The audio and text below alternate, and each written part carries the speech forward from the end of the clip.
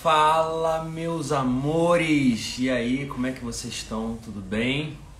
Então, hoje, sabadão, estamos aqui mais um dia de Dado com Vida para a gente aprender um pouquinho sobre a alimentação viva. Você já ouviu falar nisso? Alimentação viva? Então, é... hoje o nosso convidado é uma pessoa muito querida, um especialista na área da saúde. Ele é nutricionista, é naturalista, além de suas consultas habituais, ele leva todo o seu conhecimento através de cursos, retiros, publicações, autor de sete livros sobre diversos temas abordando sempre uma dieta equilibrada, natural e saudável. O nosso convidado é o Doutor Coraça. É, vamos ver se ele já entrou aqui online para fazer o convite. Vamos ver.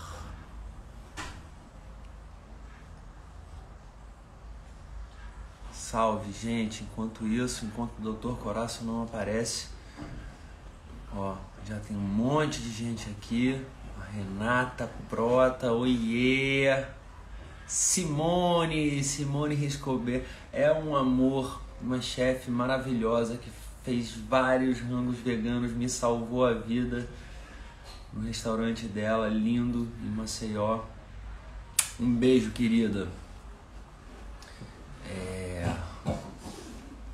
Olha, médicos veganos também. Esse Instagram é maravilhoso, recomendo seguir. Meu filho presente de novo. Que bom que você está aqui, filho. Beijo, Duco. Vamos ver, será que o doutor Coraça já apareceu?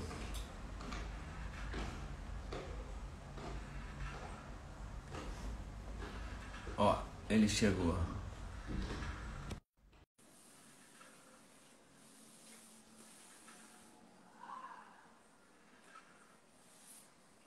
E aí, meu querido? Salve, salve, Doc! Cara, tô, eu, todas as lives que eu tô fazendo no Instagram tá acontecendo isso. Eu fico travado, não sei o que, que rola. Ah, você não tá. É, o seu vídeo não tá aparecendo, só tá o seu áudio. É estranho, cara. Tipo, quando eu tô começando a live, tá dando certo. Quer fazer a live do meu, só que porque quando a gente começar, vai chamar teu público também, né? Porque aparece que tu tá live também. Então dá no mesmo, quer? Eu fiz com a Ellen Jabur no outro dia, deu a mesma coisa. Então, cabeça, o problema é que é, eu tô fazendo uma série aqui, né? E aí eu não vou conseguir disponibilizar depois aqui.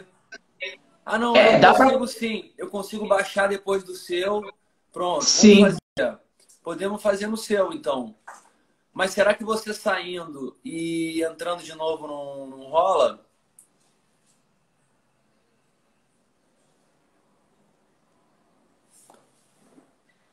Vamos ver, ó. Vamos ver agora.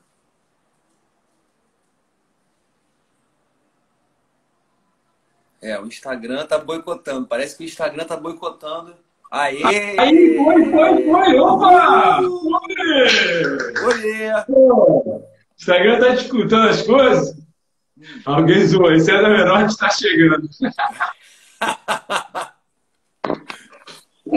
Queridaço, queridaço, que, que honra, irmão, ter você aqui é, nesse projeto que eu estou convidando as pessoas que eu admiro, né? As pessoas que eu sigo e admiro porque eu aprendo muito com você e acho Graças. que é uma oportunidade da galera que me segue também, né, poder aprender com aqueles que eu aprendo direto.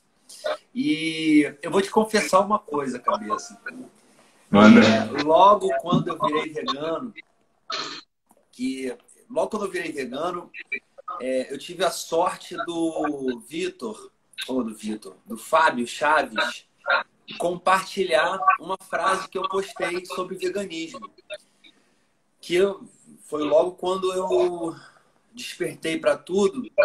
E aí ele, quando, quando ele publicou essa frase, é, vieram milhões de, de veganos me indicar pessoas incríveis do mundo vegano. E você foi uma das pessoas que foi muito indicada na época. Só que como eu estava saindo daquela alimentação de industrializados, carnes, todos os tipos de carne, eu comia bacon, comia tudo, você possa imaginar. E começando o processo do veganismo, eu achava que era impossível comer fruta só, ser frugívoro. Eu achava isso uma loucura. Eu falei, não, peraí, esse aqui já tá muito doido para mim. Eu não consigo entender isso, não. Fruta só não. E hoje, depois de cinco anos vegano e ter feito diversas dietas e ter feito vários tipos de dieta com vários nutrólogos e nutricionistas, eu cheguei à conclusão que a melhor alimentação é crudívora frugívora. Não tem nada melhor do que isso. É... Era só para você saber disso. Era só para tipo, dar uma introdução também para a galera. Para a galera saber da importância que tem essa alimentação, né? Sim, fico feliz, fico feliz. Eu sei que o pessoal entra lá no canal, muita gente me fala isso, cara. A primeira vez que eu te vi, eu falei, caramba, não, isso é muito radical. Aí passou um ano, eu vendo aqui e ali, eu falei, pô, isso faz sentido, faz sentido. Eu sei, parece muito radical. Mas isso que eu gostaria de começar a falar bem no início da live, porque eu sei que o público realmente, a maior parte daqui, provavelmente o pessoal que está assistindo, é vegano ou se interessa para se tornar vegano. Uma das coisas que eu acho mais interessante a gente parar para pensar é se não fosse o fogo, o cozimento, o sal usual, quanto de proteína animal os seres humanos estariam consumindo? Perfeito. Porque pensa bem, o ovo tem que queimar, ninguém quer comer ovo cru. Carne tem que queimar, ninguém quer comer peixe cru. Por mais que a pessoa fale sushi, o que, ela faz no sushi? Ela joga o shoyu com açúcar, com sal e glutamato. A gente sabe que açúcar e sal são as duas coisas que chamam a papila gustativa. Aí, o que, que tem no, no arroz? Açúcar, sal e glutamato. Ou seja, ela está mascarando o gosto. Então, no final das contas, é uma das coisas mais interessantes que os livros não entendem é vai para a selva e come como seres humanos teriam que comer na natureza. Porque depois do processamento. E outra dica que eu quero deixar no mundo vegano antes da gente começar a live, só deixa eu só dar essa dica. Eu queria, eu gosto de sempre conscientizar quando eu estou palestrando no mundo vegano. Por quê? Porque nós já temos uma compreensão maior de. Olha só, se você continuar matando animais, não só faz mal para o animal, mas faz mal para você, faz mal para o planeta e destrói tudo. Não tem mais muito como sustentar uma, uma industrialização alimentar dessa por mais 100 anos, entende? Peixe está estimado para acabar em 2050. Aí o que, que eu acho que a, galera não entende? Elas entendem que a importância de prote da proteção animal, mas ela não entende que cada plástico que ela compra vai parar no meio ambiente, vai parar na barriga de uma tartaruga, vai parar na barriga de uma baleia, vai parar na barriga de um pássaro. Se não parar o plástico inteiro, para o microplástico, que é a quebra do plástico em pequenos milímetros. E hoje em dia a gente já tem baleia e urso polar no Ártico nascendo hermafrodita, publicado em artigo médico científico. Ou seja, a gente já tem o que é chamado na ciência de caramujos machos desenvolvendo vagina, que a gente chama de impossex. Os caramujos se grudam aos navios, navios são pintados com tinta com petroquímico. Eles, eles, eles, eles, os caramujos machos desenvolvem vagina. Peixe é o macho secretando ovovitelina, que é uma proteína produzida para produzir ovo. Ou seja, é uma proteína produzida por fêmeas. Entende? Então, o que eu acho que a galera do meio vegano entende, eu sou super a favor de, sabe, começar a fazer essa substituição para ajudar as pessoas ter carne vegana, suplemento vegano, etc. Mas a indústria está usando os veganos para vender mais da indústria, que é o que realmente destrói eh, o planeta como um todo. Os seres humanos, os animais e o planeta. Então, aonde que eu quero chegar? As pessoas não entendem realmente que, no final das contas, o Brasil não produz 200 milhões de toneladas ao ano para fazer leite de soja para vegano, para fazer tofu, para fazer queijo de soja, qualquer coisa do gênero. Eles produzem para engordar gado, porque soja é proteico e calórico. Então, o que, que acontece? Tudo que sobra da produção da soja é escoada por outros meios. É que nem eles, eles matam o boi. Aí sobra o quê? A pata do boi, o intestino do boi. Eles vão fazendo couro, eles vendem o mocotó, eles vendem todo o boi. Então eles não querem perder a produção da soja. Então eles fazem carne de soja, queijo de soja, leite de soja, etc. Mas o que, que acontece? A gente vai pagar seis reais no quilo da soja. Se você for pegar um quilo de leite, etc., vai sair muito mais caro. Só que o fazendeiro, como ele compra em grande quantidade, para engordar o gado, ele paga um real no quilo. E você paga seis. Então você acaba subsidiando indiretamente a produção de grãos para engordar o gado. Perfeito. Então, assim, eu, eu, eu sou frugívoro. Eu não acredito que nós somos grandes consumidores de grãos. Grãos nunca. Leguminosas ocorrem na natureza fresca eu consumo. Feijão de corda, é, é ervilha, etc. Mas, de qualquer forma, eu não estou querendo entrar no mérito de ser frugívoro ou não. Eu estou querendo entrar no mérito do vegano. Se ele entende que o veganismo é uma proteção animal, ele tem que entender que o suplemento dele, que o grão da monocultura dele só vem muito barato porque está sendo subsidiado para engordar o gado. Entende? Então, assim, é, é só para as pessoas realmente entenderem a fazer um, dar um passo à frente do movimento vegano, que é realmente comer comida mais como vem da horta, como vem da terra, sem plastificado, sem processado. Eu entendo, a pessoa, ah, eu quero comer um tofu, tudo bem, vamos tentar cada vez mais conscientizar para um dia ter ter embalagem sem ser plástico. Mas até lá, vamos tentar reduzir o máximo para proteger animais, proteger seres humanos. E sim, eu acho que o mundo não é vegano por causa do fogo e por causa do nosso distanciamento da natureza. A gente tem uma palavra na ciência chamada biofilia, ou seja, amor pela natureza. Eu cresci em apartamento, cidade grande, comendo pedaço de bicho morto desde seis, seis meses é de idade. como que é o nome da palavra? Biofilia. Amor Biofilia. à natureza. Amor à vida. Eu vou até. É uma palavra, é uma, é uma palavra da biologia comum. Então, o que, que acontece? Se a gente não está na natureza, a, o desenvolvimento pelo amor por ela é impossível. Você consegue compreender? Como que eu vou, por exemplo, desenvolver um amor por uma árvore, por um animal, se eu nunca toco nele, se eu não estou perto dele, se eu não vejo ele? E se eu como uma comida tão industrializada que perverte meus neurocircuitos. E a gente sabe que a alimentação vegetariana, convivir com plantas, entre vários outros fatores, promove uma alteração e uma boa formação neurológica. Por exemplo, uma criança que cresce com depressão materna, é, estresse materno ou em, em orfanato, ela tem alteração na formação do córtex frontal, tem alteração no microbioma que leva a má formação neuronal, ela tem alteração em hormônios e o tamanho da amígdala fica excessivo também, que são todos mecanismos de processamento de emoções. Então a gente fica mais raivoso e menos empático. Isso a nível científico, isso é carregado ao longo da vida do animal. Ou seja, é, a gente está mostrando não só em animais, mas como em humanos, que problemas emocionais na infância vão te tornar mais antissocial na, na fase adulta. Então, a volta ao natural, conviver com plantas, conviver com animais, tornaria o veganismo uma coisa muito mais natural para essas pessoas que olham e falam: ah, eu não estou preocupado em matar animal. Eu, eh, as pessoas até se preocupam às vezes com a saúde delas, se preocupam com o bolso delas. Mas a causa animal, você não tem como gerar empatia num ser humano doente. Porque a gente sabe que, por exemplo, pessoas com borderline, certos tipos de doenças neurológicas, elas têm alterações, eles fazem é, ressonância magnética no cérebro dessas pessoas e mostra que os mecanismos de empatia não são ligados. Ou seja, a pessoa com uma doença neurológica, ela pode olhar para uma outra sofrendo e ela não sente nada. Entende? Então é a mesma coisa que a gente faz com os animais. A gente vê a dor deles, mas não muda.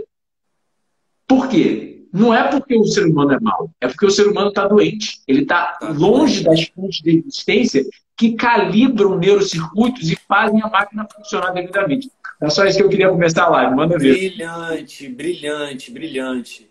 É, inclusive, um grande projeto de vida meu é criar um centro de reconexão humana, aonde a gente consiga uma medicina integrativa aliado à terapia holística, aliado à yoga, é, a uma alimentação frugívora, é, crudívora, viva, é, e tratar essas pessoas, essas pessoas que estão desconectadas, que eu acredito que seja talvez 90% da população. É... E essa desconexão, eu acredito que seja proposital, sabe? Proposital pela indústria, é... porque a indústria se alimenta do caos, né? A indústria alimentícia, a indústria farmacêutica. É, tanto é que a Monsanto e a Bayer são é uma empresa só, são dos mesmos donos. Quem produz agrotóxico também produz remédio para câncer. Então, é, é tão claro isso. E é tão óbvio que, assim, a mídia, grande mídia que sobrevive ainda dessas indústrias, eu tenho certeza que elas não têm mais muito tempo para conseguir esconder todas essas mentiras que foram propositalmente plantadas na sociedade, entendeu? Eu acho que a internet chegou é, com, com uma revolução na comunicação, onde a democracia está está realmente imperando, né? Porque é muito mais, é uma comunicação muito mais democrática, onde todo mundo pode falar e onde todo mundo pode buscar suas fontes, né? E não só uma fonte de comunicação como a gente teve durante praticamente o século passado inteiro e durante a vida inteira, né? Porque é, esses, eu acho que essa coisa começou ainda lá atrás, né? antes de Cristo, com os reis que, que detinham as cabeças de gado e que detinham o, o poder da informação, é, que sabiam das doenças, que como que era causado, porque já existem né, é, é, vegetarianos estritos 700 anos antes de Cristo. Né? Pitágoras, por exemplo, é uma prova viva disso. Então, não é o veganismo não é uma modinha, não é uma novidade do agora, como as pessoas pensam. O veganismo, sim, esse termo vegano, sim, mas os defensores dos animais e os vegetarianos estritos é, um, é, um, é, uma coisa que nasceu 700 anos antes de Cristo, ainda na Grécia, sabe? E Perfeito. é uma luta gigantesca. E como a mídia tem esse poder absurdo que vem dessa indústria que explora os animais há séculos e há milênios, transformando essas indústrias nas mais poderosas do mundo, eu acredito que essa mentira é imposta, entendeu? E cabe a galera que está vendo aqui essa live, cabe a nós que já temos esse conhecimento, divulgar com aqueles que a gente ama. Porque eu acho que a informação é a chave da mudança. Eu Perfeito, concordo. Concordo em gênero, número e grau, cara. Concordo em gênero, número e grau. Por isso que eu, na hora que você falou, me chamou para lá e falei que eu topo. Porque eu tô vendo que você entendeu a coisa e pouca gente realmente entende, né? Porque no final das contas é brigar pela vida. Não Exatamente. tem geração se a gente continuar errando desse jeito. Entende? Não vai ter próxima geração. Então, assim, é triste, mas é, alguém tem que levantar e falar, pô, vamos fazer o certo, entende? É, que nem a coisa lá da, da sua. Ah, do, do post em relação ao César Minotti lá. É, um monte de gente criticou, etc. Mas a questão é que a gente tem que entender é os influenciadores, ainda mais vocês, atores, etc., músicos, que estão muito assim, é, têm um alcance de um público muito maior, devem reconhecer que a influência é enorme. Por exemplo, a gente vê muita coisa errada, por exemplo, eu admiro fisiculturistas, mas hoje em dia virou um esporte de anabolizante E excesso de. É, tipo, virou um esporte que os próprios fisiculturistas falam. Isso não é saudável. Mas no final das contas, é, eles, eles, eles é, são um exemplo para a próxima geração. Então a gente está falando com um monte de gente em top de carne, queijo, leite e ovos, que por mais que você não tenha preocupação com os animais, vai destruir o meio ambiente. E, é, por exemplo, a principal causa de trabalho escravo no Brasil é a agropecuária, é a indústria da carne, a indústria da morte, como a gente pode ser chamado. Então, tipo, por mais que você não tenha amor aos animais, você não tem amor ao ser humano se você está comendo, porque tem e nem ao meio ambiente e nem ao meio ambiente, né? Doc, estão falando aqui é, você tem, você tem um fone aí? Tem como você colocar um fone? Porque eu acho que tá muito eco. E eu ouvindo a minha própria voz aqui, tá me dando uma doideira. Eu vi, eu vi, eu vi. Eu vi. Calma aí. Se tiver um fonezinho aí, já. Vamos ver se isso vai melhorar. Um fone velho, qualquer coisa eu colocar.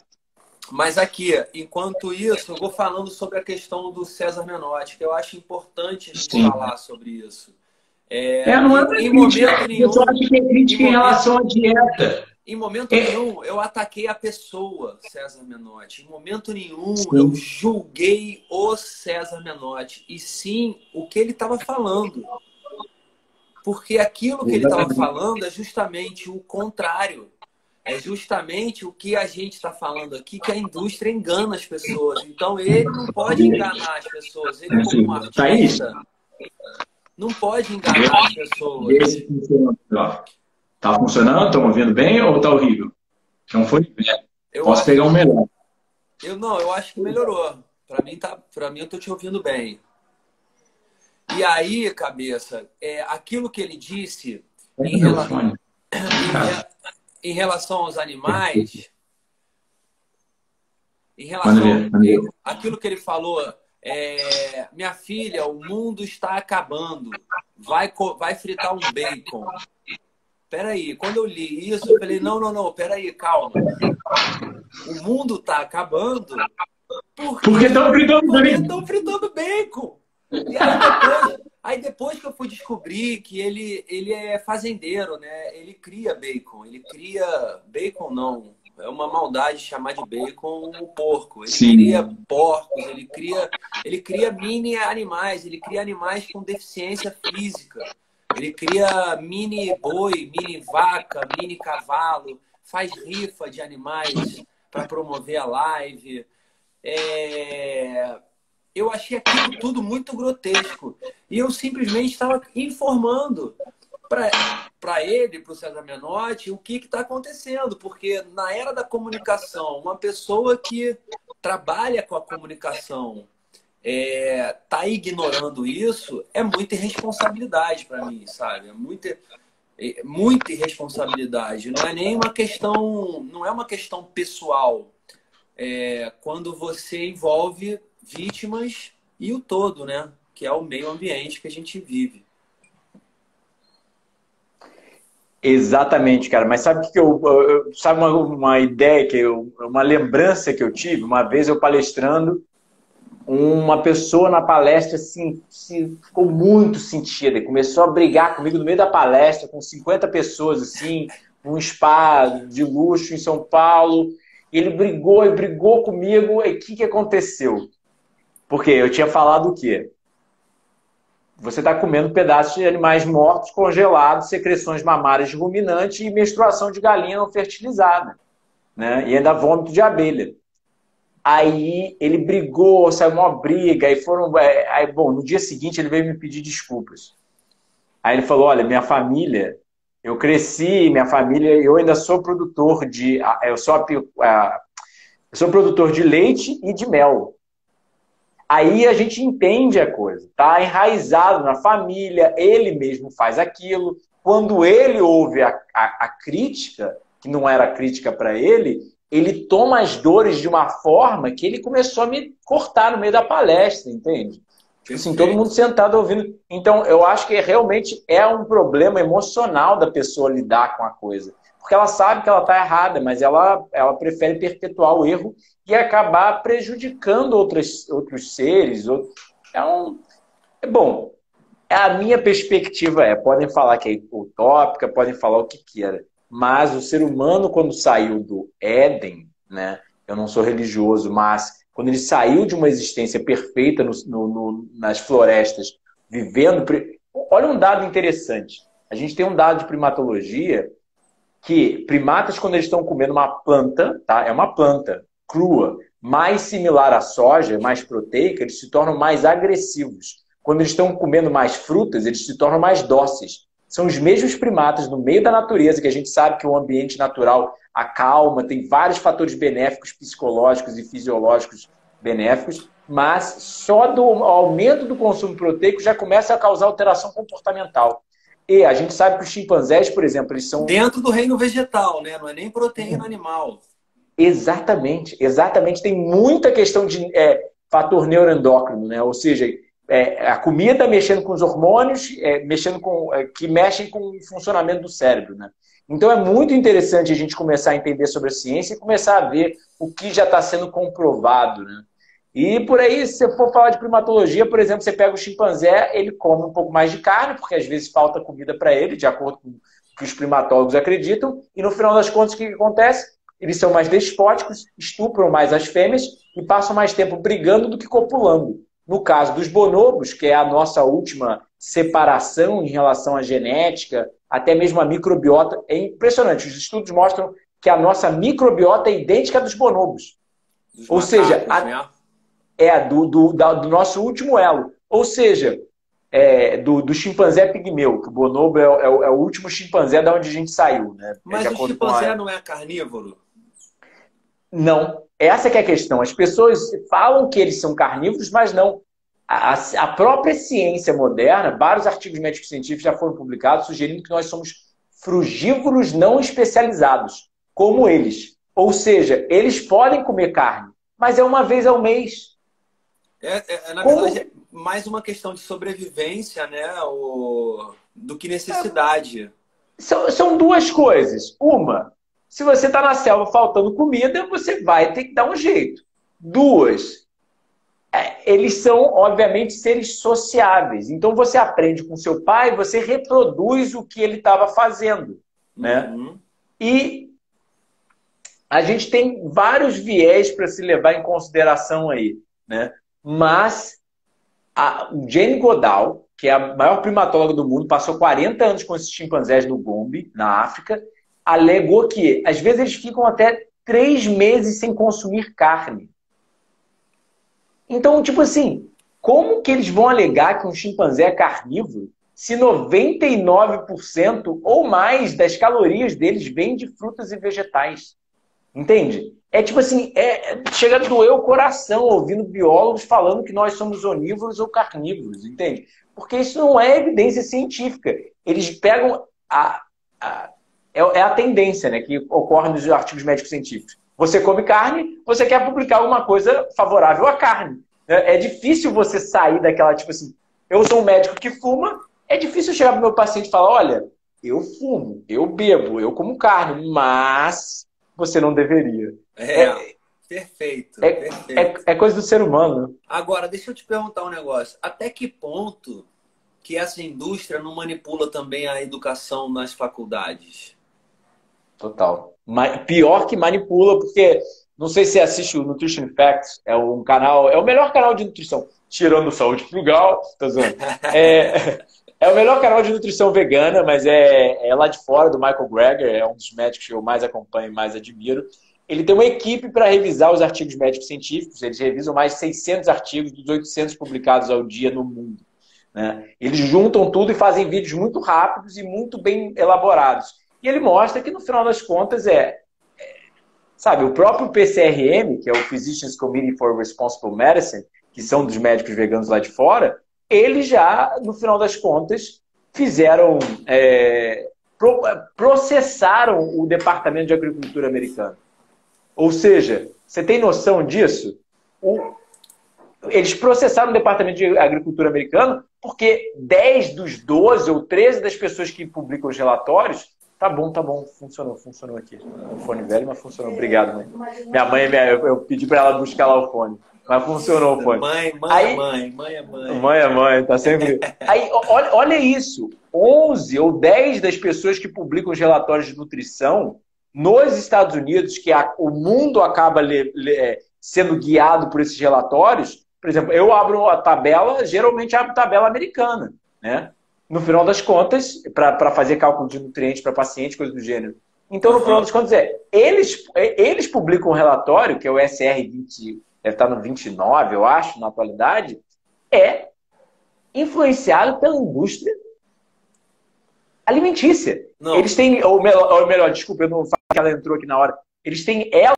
Então é, é brabo se você for parar para pensar, tá ligado? É, o, o, os Estados Unidos recomendam o consumo de cálcio de mil miligramas de cálcio, né? Por causa do leite, óbvio. Aí o Reino Unido recomenda 750 miligramas de ingestão de cálcio, ou seja, o Reino Unido já recomenda menos que os Estados Unidos. Mas a gente tem tribo bantu na África uma, uma tribo de mulheres que tem em torno de nove filhos é, durante a sua vida e cada uma amamenta seus filhos até os seis anos de idade. Que isso né, requer. Elas estão sempre amamentando e sempre com filho e, obviamente, puxa muito cálcio. Só que elas têm uma alimentação quase vegana, né? Porque na natureza você não tem muito como comer muito animal, que isso é cientificamente comprovado. E no final das contas é, é quase um quarto da recomendação. É, não, é, é praticamente um quarto da recomendação americana para uma mulher grávida. Tá? 350 miligramas de cálcio ao dia.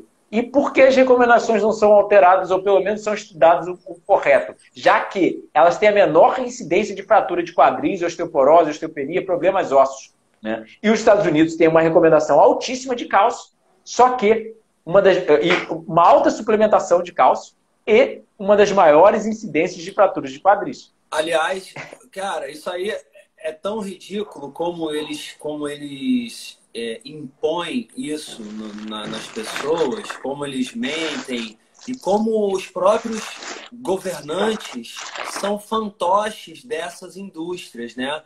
Como agora a gente teve o caso do, do Bolsonaro na live que ele estava fazendo, tá bebendo leite. Você viu ele e todos os apoiadores dele na bancada bebendo leite, bebendo leite todos bebendo leite, imitando é, é, a extrema-direita americana, imitando essa indústria que engana as pessoas. É, é o dinheiro. É o dinheiro. É o dinheiro, é o mas dinheiro. é o dinheiro para poucas pessoas, né? É isso que a gente tem que esclarecer. É o dinheiro que pouquíssimas pessoas têm acesso, que são é, esses, esses industriais, esses latifundiaristas. Mas mas aí que eu acho que é legal a coisa do crudivorismo, do naturalismo, do frugivorismo. Porque, por exemplo, eu me despertei. E eu falei, eu não vou continuar na cidade grande. Eu não vou sustentar nenhum tipo de indústria errada.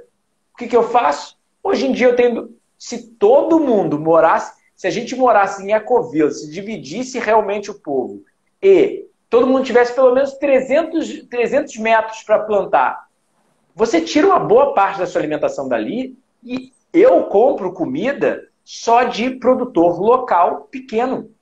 Eu não faço minha comida vindo dos Estados Unidos de avião, depois de, de caminhão, gasto um combustível fóssil, a comida com agrotóxico. Não, eu tô, eu tô colhendo minha comida. E se eu não estou colhendo, eu estou pegando de pessoas que plantam do meu lado, é, a 10 quilômetros aqui, 15, 20 quilômetros. E a comida, ela auxilia o meio ambiente, porque eu estou dando dinheiro para um produtor local pequeno. Não estou dando dinheiro para uma indústria produzindo, sabe, um bilhão de toneladas de soja, que vai ainda engordar o gado. Então, assim, é muito fácil quebrar o sistema se as pessoas entenderem que elas sustentam o sistema. Perfeito, perfeito. É, é, mas eu acho que é isso, é a falta de informação. Na verdade, não é a falta de informação, é a informação errada que o poder da propaganda e da mídia que vem dessas tem. indústrias tem, né? Não é, é, é, a informação errada que é empurrada goela abaixo das pessoas, né? Se você, se as pessoas analisarem, por exemplo, os comerciais de TV, é... não existe um comercial de famílias felizes celebrando fazendo shiitake, comendo shiitake, comendo brócolis, comendo frutas. Não existe. Só existe de produtos de origem animal. e principalmente processados, que reconhecidamente pela OMS, a Organização Mundial da Saúde, como é, carcinogênicos número um, do grupo 1, né? Tão, é, tão cancerígeno quanto o cigarro, né? E, e, a televisão vende aquilo. E, e, e, entre esses anúncios desses produtos cancerígenos de produtos né, da origem animal, é, tem o quê? Tá com problema para digerir sua comida? Estomazil, sal de fruta eno. Tá com dor? Toma Doril, a dor subiu. Até remédio para hemorroida. Até remédio para hemorroida vendem na televisão. Pelo amor de Deus, você não precisa ter hemorroida, é só você comer bem, é só você comer fibra. comida viva, fibra. A fibra que não existe na origem animal, né?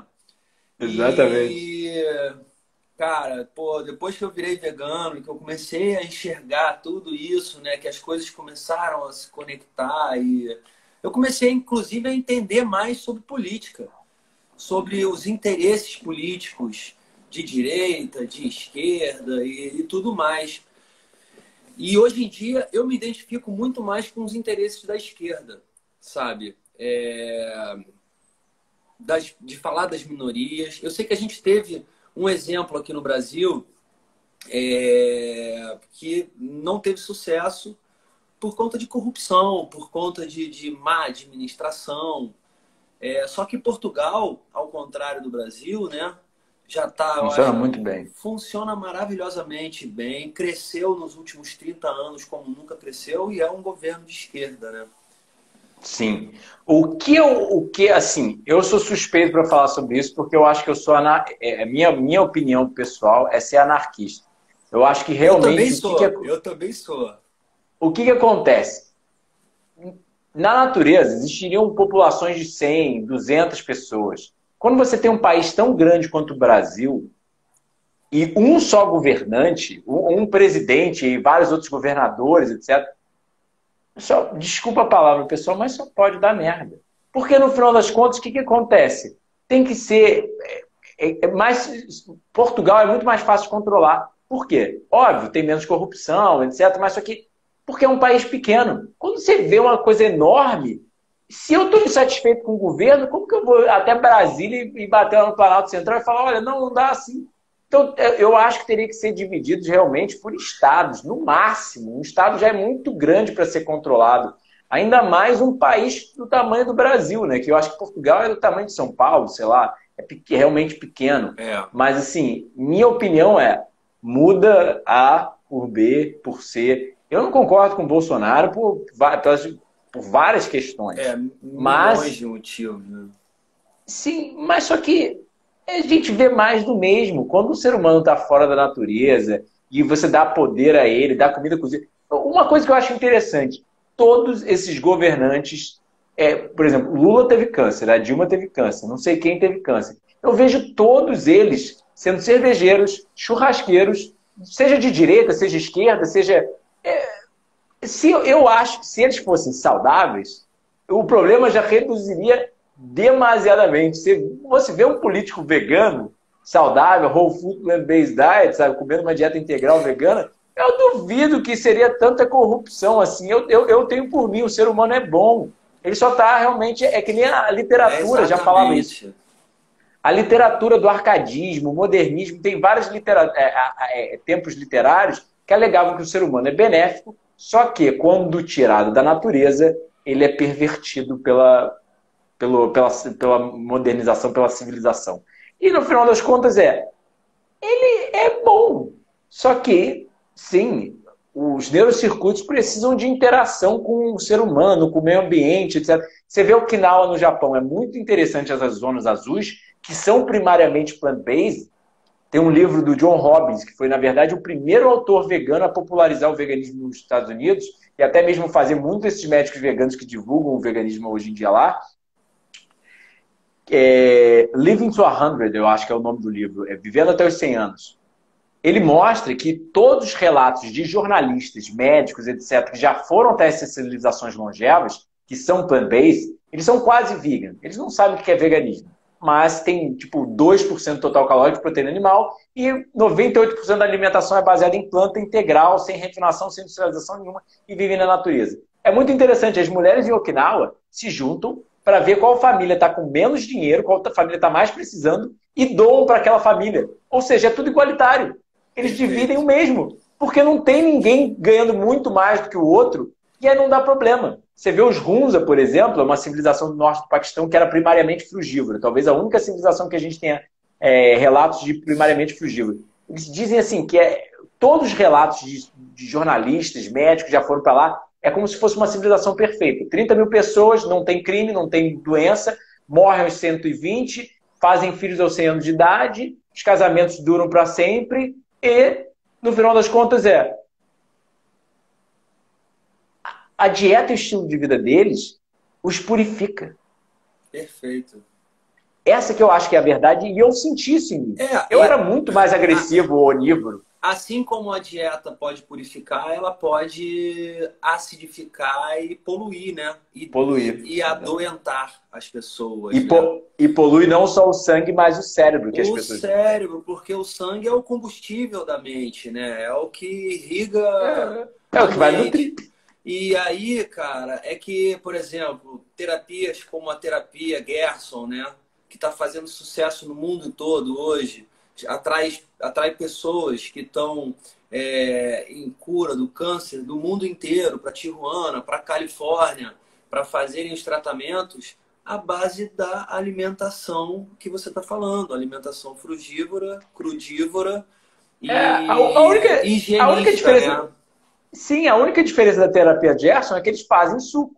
Mas no final das contas a gente sabe que o alimento integral é mais saudável do que o suco. Mas eu sou super a favor da terapia Gerson. Se a pessoa não sabe levar, etc., eu não vejo problema. Mas sim, a gente aí, ó, tirar ó, a fibra. Léo Rosa, Léo Rosa tá aí presente. Ele tá aí. Ah, legal, Léo. Ele tá fazendo a terapia Gerson.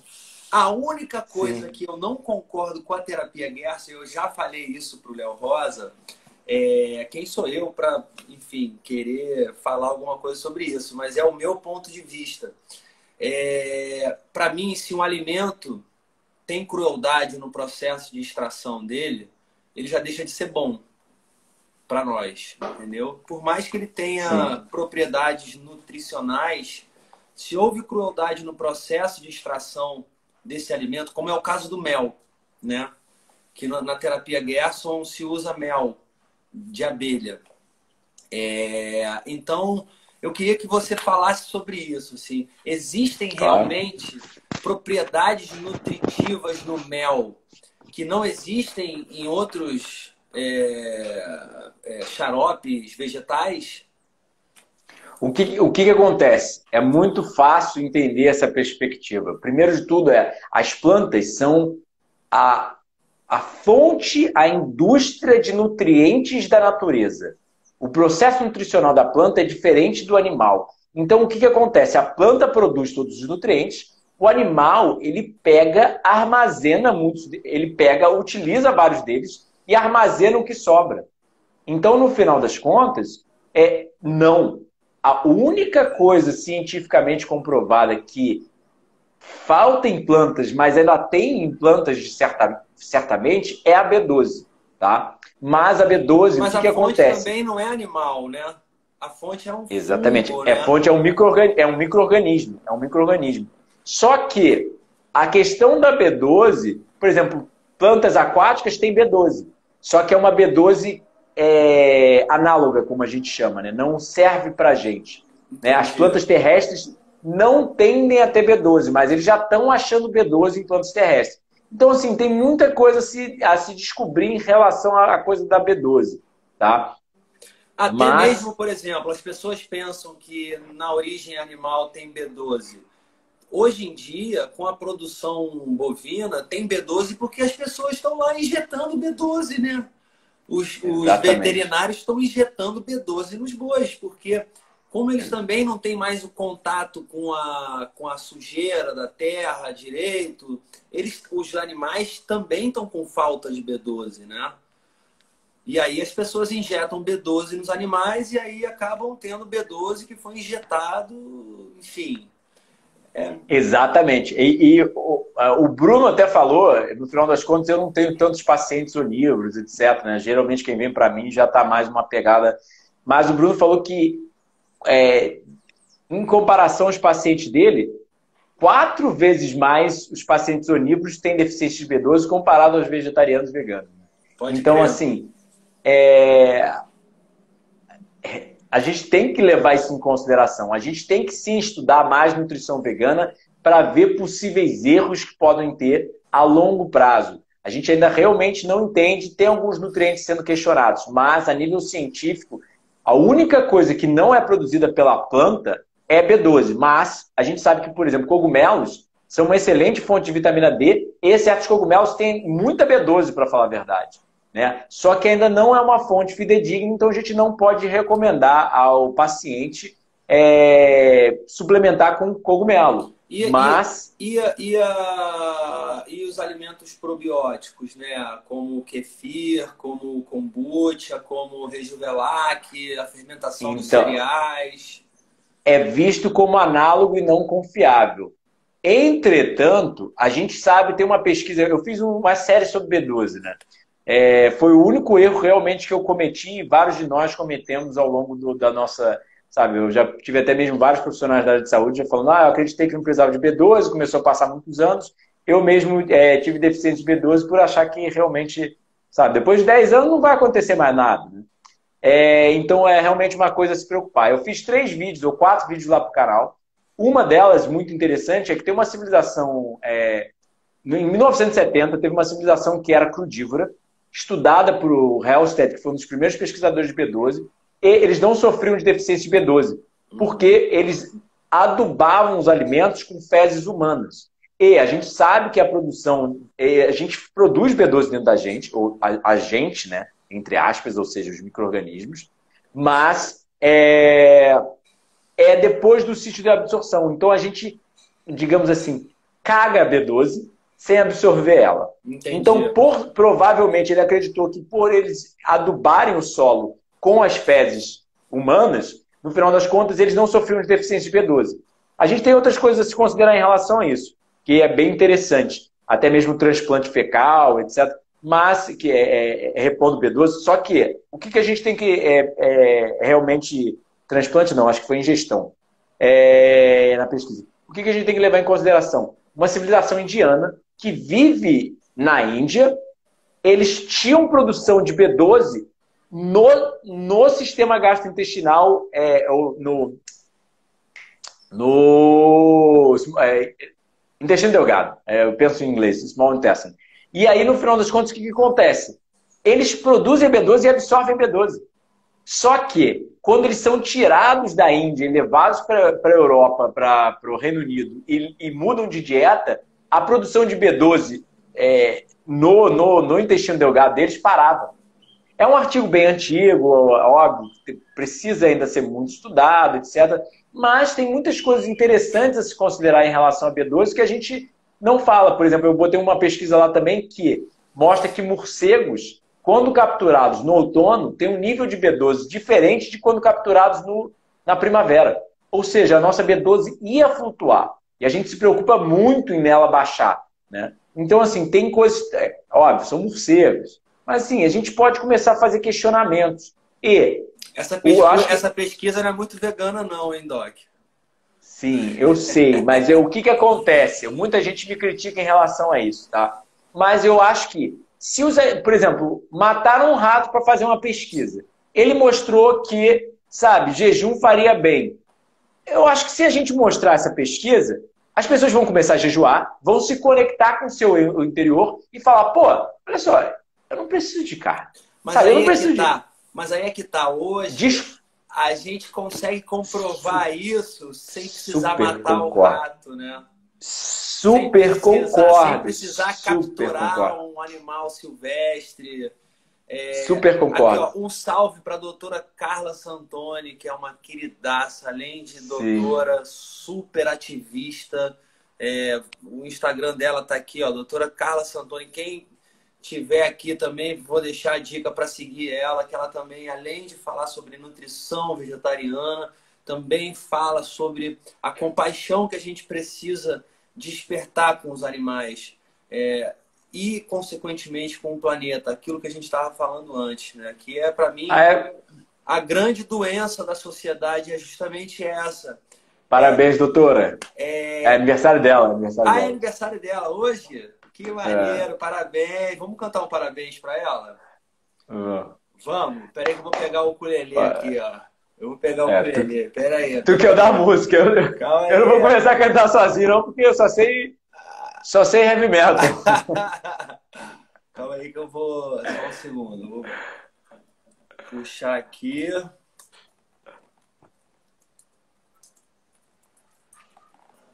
Mas essa história da B12, cara, independente, é o que eu falo pro pessoal, por mais que você questione, você vai questionar, tudo bem, o dado científico mais confiável são as zonas azuis. Não existe nenhuma civilização que come, coma carne, etc., e chegue, seja tão longevo e tão saudável como as zonas azuis, entende? E os dados científicos são de o homem paleolítico comendo mais de 100 gramas de fibra ao dia. Como que você vai ser paleolítico comendo muita carne comendo 100 gramas de fibra ao dia? É, é coisa de 4 quilos de frutas e vegetais, entende? Tipo. É, é, Mano... é sinistro, cara. Mas então, aproveitar aí que é aniversário dela, que é canta uma lá, pessoa maravilhosa, que, enfim, que me inspira Sim. muito, que me ajudou muito no meu processo quando eu comecei. Eu também comecei a seguir ela. E além de ser médica, ela é uma super ativista da causa. Então, vai aqui o meu, o meu amor, a minha gratidão é, por você e se considere abraçada agora, muito forte nesse, nesse período de isolamento que a gente está vivendo. Então vamos lá. Oh, parabéns pra você. Pra você. Essa data, querida. Muitas felicidades. Muitos anos de vida. Parabéns pra você. Data querida, muitas felicidades. Muitos anos de vida. Carla, gratidão. E concordo, concordo com tudo que você falou, Dado. Ela é. Eu, eu, eu admiro o ativismo, porque realmente alguém tem que falar pelos que não podem falar. É, eu acho a gente até, tem que se levantar. até que isso é uma coisa que é injustiçada também de falar isso, porque eles falam, só que eles são silenciados. Sim. A gente sim, fala sim, por aqueles que são silenciados, porque eles falam de todas as formas, eles falam com os olhos, eles falam com o corpo, eles gritam, eles choram. É, os animais, quando entram no corredor da morte, eles choram de desespero, de medo, eles gritam, eles estão vendo o irmão dele pendurado de cabeça para baixo, sangrando. Eles estão sentindo o cheiro do sangue daquele irmão que está pendurado, que está sendo assassinado covardemente. Então ele sabe que ele é o próximo. Então é, eles gritam. É, é, essa coisa da gente falar que eles não têm voz foi uma coisa que eu me corrigi. Porque eles têm sim, só que eles são silenciados. E é isso que precisa acabar. É, acabar com o silêncio com o silenciamento de quem luta por eles. Porque quando a gente silencia quem faz a, faz a opressão, quem luta pela justiça, você fortalece o opressor, né? Quando a pessoa Concordo. silencia quem está lutando por justiça, você está automaticamente fortalecendo quem está fazendo a opressão. Concordo. E nesse sentido a internet é boa porque ela veio para disseminar esse conhecimento de uma forma que a gente não conseguiria disseminar sem ela. Perfeito. Então, assim, nesse sentido, realmente é, a internet tem ajudado. O veganismo cresceu muito nesses. Sabe, eu, eu virei vegano 2006, 2007. Cara, cresceu muito e tem crescido muito. Então, assim, infelizmente o ser humano só aprende com a dor, né? E a gente tem visto que tudo tem sofrido. Os animais, o planeta, nós mesmos temos uma qualidade de vida muito abaixo do que o ideal. Então, assim, tá, tá mudando, né? Tá mudando. Infelizmente, tá da forma errada, da forma dolorida, errada, mas É, tá mudando, mas eu ainda vejo muitas pessoas que têm a consciência, isso é o mais triste para mim, sabe? São pessoas que poderiam estar tá fazendo a diferença, que já têm a consciência e dá risada de piadinha de bacon, dá risada de, de quando as pessoas humilham e fazem pouco caso dos animais, né? É, a gente está chegando no fim, Doc, ó. Já são 5 é. e meia. A gente começou 4 e meia, não foi? Caraca, é, foi mais ou menos isso. Acho que foi a mais rápida lá. Você vê como é que é. Quando a gente... É muito assunto para falar. É, quando a gente. Quando o assunto tá, tá bom, né? Flui. Flui. Você nem vê o tempo passar muito louco. Já quase passou uma hora. Mas eu vou deixar, as pessoas estão pedindo aqui muito é, para eu deixar gravada. Eu vou deixar gravada essa live. E você que está aí curtindo, compartilha com aquela pessoa que você gosta. É, e, e, você que não não está curtindo também, compartilha também, compartilha com o teu inimigo, com aquela pessoa que você não gosta, sabe? O importante é a informação chegar. Porque eu acho que quando a informação bate numa parede, ela bate e cai. Mas quando a informação bate num ser humano humilde, com a capacidade de ouvir e de poder é, se permitir o novo, aí a gente tem mudança. Eu concordo plenamente, cara. Por mais difícil que seja, por mais trabalho de formiguinha, a gente tem que ficar martelando porque a coisa muda. Lento, mas muda. Né? Perfeito, perfeito. É, eu, eu, separei várias perguntas aqui que a gente falou tanto que eu acabei não fazendo quase nenhuma. Com a ajuda da minha assessoria, do, do Lafayette Teixeira, que é um cara que me ajuda já há anos, nesse movimento, inclusive. E aqui, ó. Doutor, ainda batendo na tecla das pessoas que têm dificuldade em substituir a alimentação tradicional pela alimentação viva, como é que as pessoas poderiam ir acrescentando aos poucos alimentos vivos em suas refeições e aos poucos se tornarem mais conscientes nessa mudança, até perceberem as diferenças também no seu próprio organismo? Isso seria possível? Essa substituição Super. Gradual, levando em conta que esse é um momento favorável em que as pessoas se encontram mais em casa, né? Super possível. Primeiro de tudo, a primeira dica que eu dou, começa toda a refeição com fruta e vegetal. Simples. Antes de pegar na comida cozida, pega uma banana, pega uma salada, sabe? Pega um mamão e come o máximo possível. Hoje, Já começa por aí. Hoje eu tô totalmente crudo e frugívoro. Ó, meu, aí, meu, meu de jejum de manhã, meu de jejum de manhã foi limão com cúrcuma é, fresca, né? Que eu, eu bati no liquidificador com um pouquinho de gengibre. É, de, depois eu fiz uma panqueca de, de banana, mas também num fogo baixinho, só para dar uma aquecida, ela ficar mais durinha. Aí coloquei Sim. um melado de cana por cima com maçã. É... E depois, agora, mais tarde, eu tomei agora um sucão de frutas vermelhas com leite de coco em pó que, que é produzido, inclusive, por uma empresa muito bacana que não trabalha com plástico. É, eles têm uma consciência com os oceanos e com o microplástico também, que é a Bloom. Eu não sei se fala Bloom Beats ou Bloom, Bloom Bites, é, mas eles estão fazendo espirulina é, e leite de coco em pó.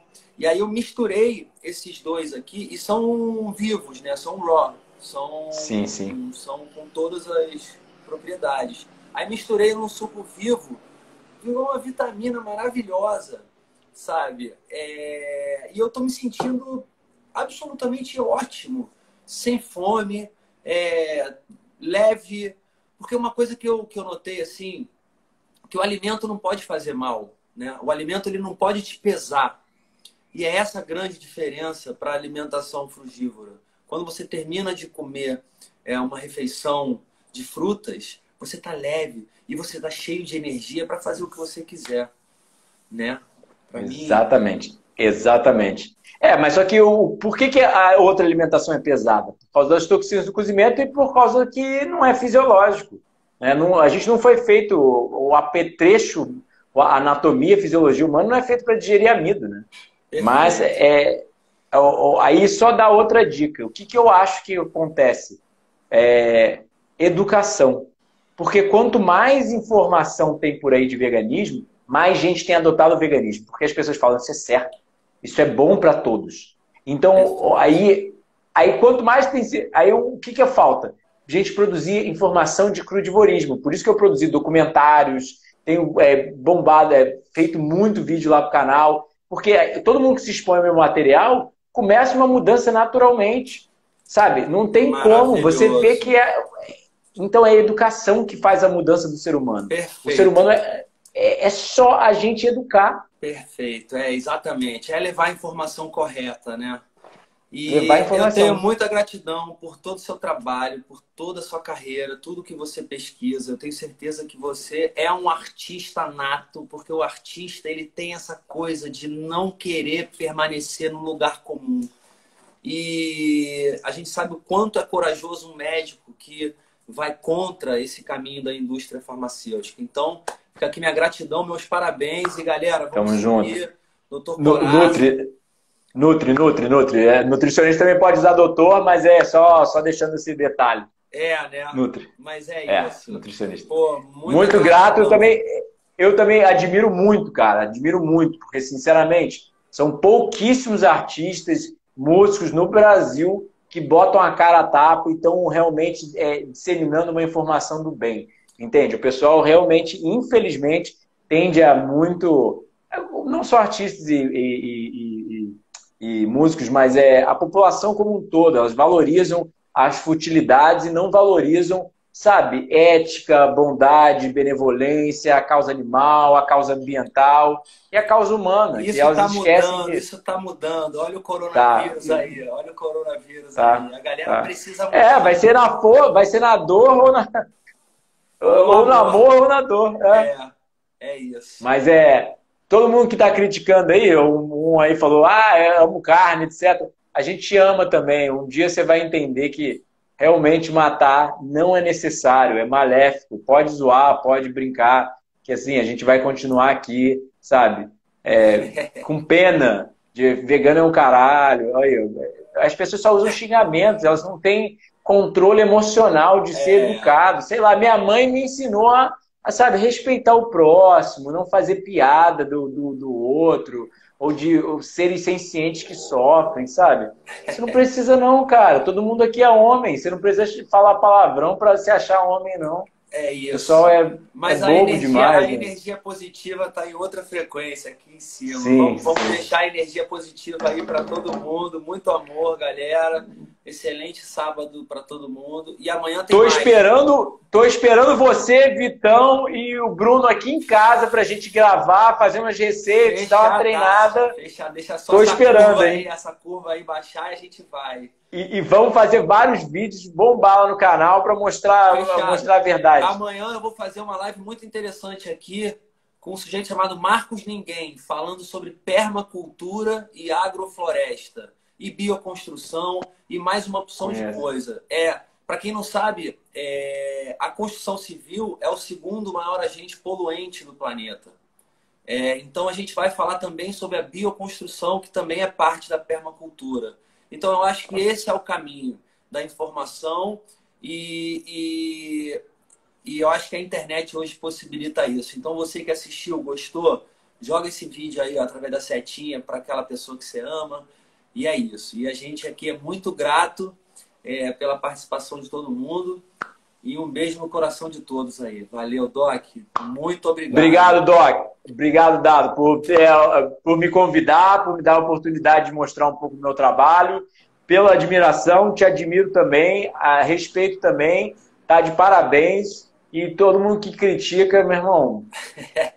um abraço. É, sabe? Um abraço. Um abraço. Fica, fica, fica, fica por aí chorando que é no, nós somos o futuro. É a, a, causa animal é o futuro, não tem como parar. E o futuro é agora. O futuro, é, o futuro é, agora. é agora.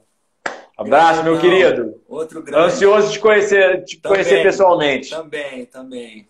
Até breve. Até. Valeu.